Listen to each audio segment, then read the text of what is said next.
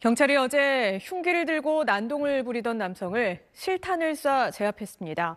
최근 경찰의 무기력한 현장 대응에 비판이 쏟아지면서 경찰청장이 직접 필요한 물리력을 과감하게 행사하라고 지시했는데 이런 지시가 나온 이후 첫 총기 사용입니다. K는 최한솔 기자입니다. 경남 김해의 한 공장 앞입니다. 흉기를 든 남성이 경찰의 만류에도 공장 안으로 들어갑니다. 테이저건을 쏘지만 두꺼운 외투에 철심이 튕겨나가고 화난 남성이 경찰에게 흉기를 휘두릅니다. 이 남성은 건물 유리창을 깨고 사무실 안까지 들어가 흉기를 휘둘렀습니다. 공포탄 사격에도 위협이 계속됐고 경찰은 결국 실탄을 발사했습니다. 세 발의 실탄이 오른쪽 허벅지에 관통되고서야 상황은 마무리됐습니다. 이 남성은 붙잡힌 뒤 곧바로 수술을 받아 생명에는 지장이 없는 것으로 알려졌습니다.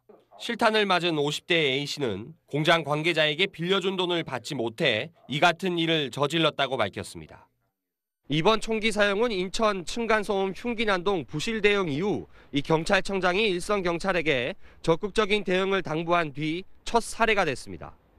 그만큼 흉기난동에는 강한 물리적 대응을 하겠다는 뜻입니다. 흉기 등을 이용한 강력 범죄에 대해서는 적법 절차에 따라 엄정 대응 토록 하겠습니다. 경찰은 A씨에 대해 특수 공무집행 방해 등의 혐의로 구속영장을 신청할 계획입니다. KNN 최한솔입니다.